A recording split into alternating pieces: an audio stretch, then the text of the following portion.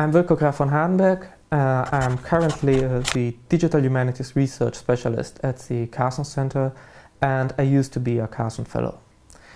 I'm studying the development of uh, nature conservation in the Alpine Range. I'm interested in approaching a transnational uh, point of view, so uh, discussing the development of uh, national parks in Italy, France, Switzerland, Austria, and Germany.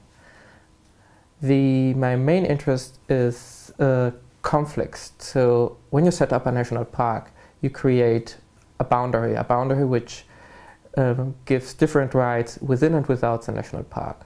And this creates conflicts between the institutions creating a park and the local populations. Setting up a national park is about uh, creating a border between inside and outside. Inside you have new rights, you create new kinds of crimes the non-acceptance of the local population of these new crimes brings to conflict. People used to have uh, hunting rights you know, or grazing rights on these territories, and suddenly, usually suddenly, uh, some national institution decides that this has to become a national park, so it has to be protected, and so many of these rights, including also fishing rights, uh, get uh, abolished from the uh, from the state. So the, the local communities have the problem that they used to do things which they think are customary, but aren't allowed anymore. This has led, in uh, many cases, uh, mainly in the Italian case, which is the one which at this moment I still know the best, to court cases in which the local population asked for their customary rights to be recognized by the state. The main finding in the trans-regional point of view because uh, because I want to go over the uh, institutional study of national parks, which are usually studied one by one. You study one national park, then you study the other.